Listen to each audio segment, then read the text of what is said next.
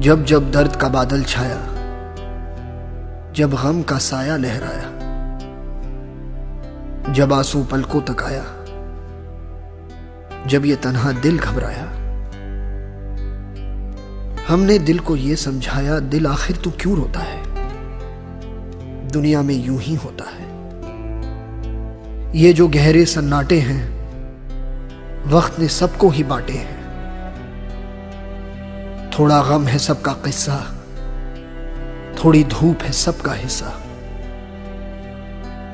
आग तेरी बेकार ही नम है, हर पल एक नया मौसम है।